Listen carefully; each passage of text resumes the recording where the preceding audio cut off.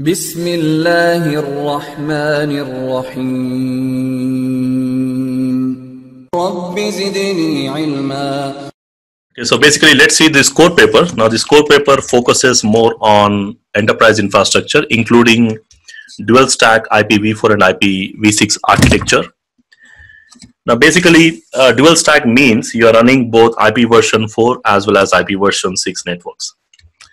Like here, uh, generally, you, you see most of the production networks started already using IP version 6 now, with the evolution of the IP version 6, uh, you, you know, you need to make sure that your customers or maybe your uh, companies uh, or the partners you generally connect to, you need to be able to communicate with them. So let's say if they are running some kind of IPv6 networks, or maybe some of them are running IPv4 networks, then basically you'll be running both IP version 4 and IP version 6. So you need to make sure that uh, your business connectivity and for the future growth you will be supporting both v4 as well as the v6 like uh, supporting the existing infrastructure as well as uh, for the future growth requirements. Okay.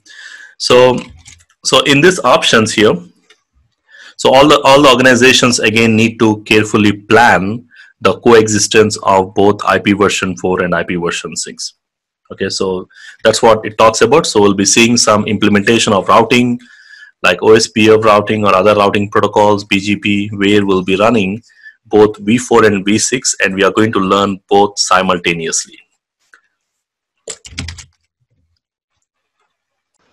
So next thing you also be you know now probably this exam you also need to know the knowledge of virtualization concepts now virtualizations, again in this there is something called server virtualization where you need to know some options relating to virtual machines, the VMs, and then there is something like containers and then virtual switching concepts. And also you'll be getting into something like network of uh, network functions virtualization that is like kind of NF, NFV architecture which is going to be applied uh, for an enterprise network. So, so it basically covers how you can use the virtualization architecture to apply in your production scenarios. And then also there will be something like infrastructure. Now infrastructure relates to the concepts relating to wide as well as your wireless networks like understanding the LANs, VLAN, trunking concepts, MSTP, Ether channels, mostly about the LAN, LAN concepts, uh, including including both wide and the wireless LAN, of course again in the wireless you will be understanding the wireless infrastructure and then how we can secure that particular wireless infrastructure and also you how you are going to troubleshoot those wireless infrastructure networks.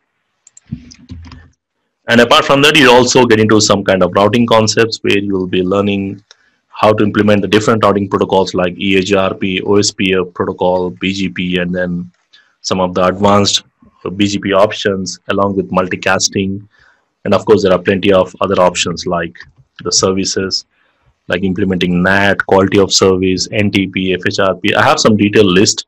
Probably next we'll be getting into that.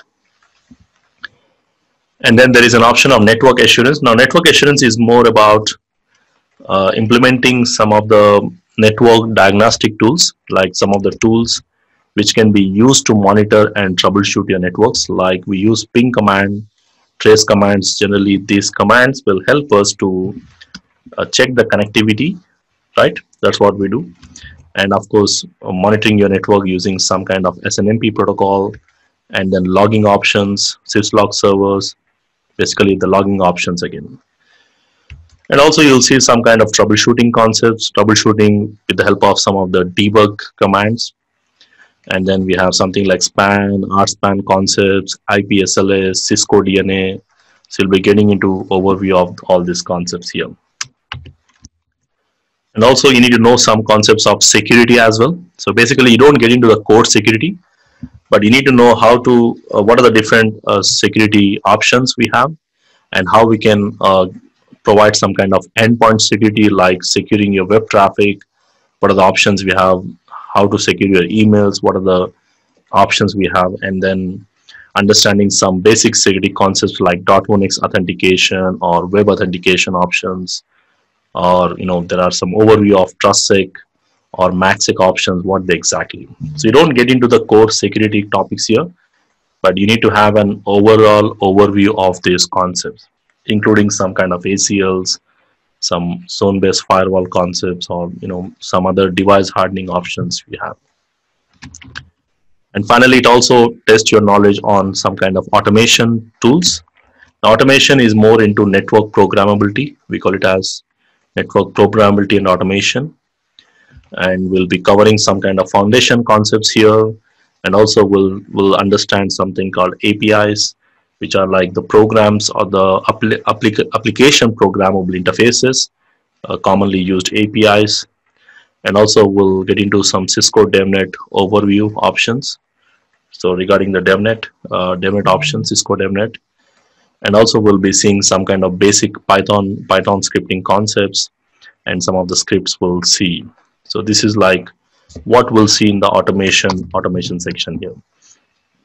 Okay, so so at the at the end, you know, this ENCOR paper need to have a knowledge of the dual stack IPv4 and IP IPv6 infrastructure or the architecture and also how you are going to apply that in your network, in your both wired and the wireless networks, and also some of the foundation overview of the virtualization concepts and some of the services, network assurance options, and securing security options, and also the automation options.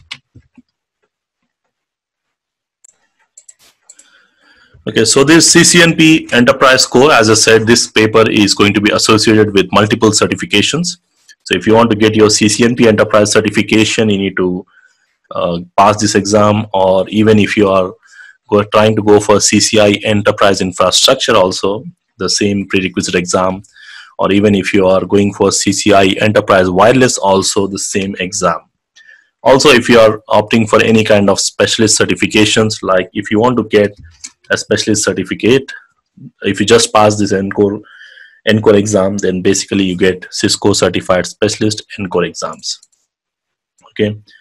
So again, as I said, the core exam is a prerequisite or qualifying exam for both of your CCIE enterprise infrastructure as well as CCIE enterprise wireless options.